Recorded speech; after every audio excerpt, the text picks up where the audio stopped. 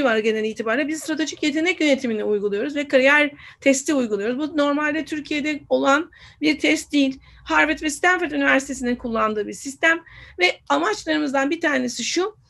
Gerçekten insana önündeki harita açısından 6 yıllık plan veren yani 60 yıllık e, kariyer planlamasının 6 yılını tanım, tanımlayan önemli bir çalışmayı gerçekleştiriyor olmak lazım. Dünyanın örnek olarak söyleyeyim, dünyanın 2025, 2035, 2055'lerdeki durumuna göre, sosyoekonomik, politik, teknolojik gelişmelerine göre bizim ne yapmamız lazım bu anlamda bakıldığında? Bu anlamda bu sosyoekonomik, politik, teknolojik gelişmelere göre öğrencilerimizin becerilerini, ihtisaslaşmasını ve ilgi alanları tekrardan yapılandırmaya ihtiyacımız var. İhtiyaçlarımızı görmemiz lazım. Bu anlamda finansal yeterliğe bakmamız lazım. Finansal yeterlik üç aşa- aşamada oluyor. Birincisi üniversiteye girmek için veya master doktora programına gitmek için veya iş dünyasında yeni bir sıçrama gerçekleştirmek için bir süreç harcıyorsunuz.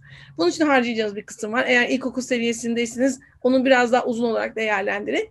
İkinci kısım üniversitede özellikle üniversitede undergrad, lisans seviyesi ve lisans üstü seviyede master doktora da veya İş dünyasındaysanız tekrardan eğitiminizi değerlendirmek için harcadığınız bir süre var. Ve üçüncüsü en önemli konulardan biri bu kadar para harcadıktan sonra ne kadar para kazanacağınızı değerlendiriyor olmanız lazım. Bugün Harvard mezunlarında bile var. Yanlış bölüm seçtikleri için yüzde kırkının işsiz olduğunu görebiliyoruz. O yüzden bu anlamda finansal yeterlik çok önemli bir konu. Eğitim finansmanı çok önemli bir konu. O yüzden kariyer danışmanlığı yapılarak bu anlamda bu çalışmanın yapılıyor olması lazım. Bu konuda Türkiye'de ve dünyada inanılmaz gözü kapalı gidiyoruz ve bu anlamda çok yanlış e, hesaplar, çok yanlış çalışmalar yapıldığı için e, kısıtlı olan maddi imkanları bile geniş güzel kullanıldığı için yazık eden bir israf edilen bir sistemle karşı karşıya kalabiliyoruz. Geçenlerde bundan bir buçuk ay önce bir aile Robert Kolej'den başvurdu. E, tıp okutmak için haftada 50 bin lira harcadığını söyledi ve şu anda tıp fakültesini tutmuş durumda değil.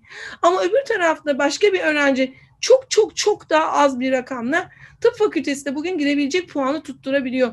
Bu anlamda yapılan bir takım yanlışlar olabiliyor. Bunları mutlaka değerlendirip bakılıyor olması lazım. Buna uygun stratejik hedeflerin oluşturulması lazım ve tabii ki çok önemli konulardan biri bunların 6 yıllık plan içinde inceleniyor olması gerekiyor. Bu planları eğer 3 aylık süreçler içinde incelemediğiniz zaman gerçekten hangi zaman hangi sınava girecek, ne zaman ne yapılacak, hangi seviyedeyse bu önemli. İsterseniz 6 yaşınızda olun, isterseniz 10 yaşında, isterseniz 20, isterseniz 30, isterseniz 40, isterseniz 50.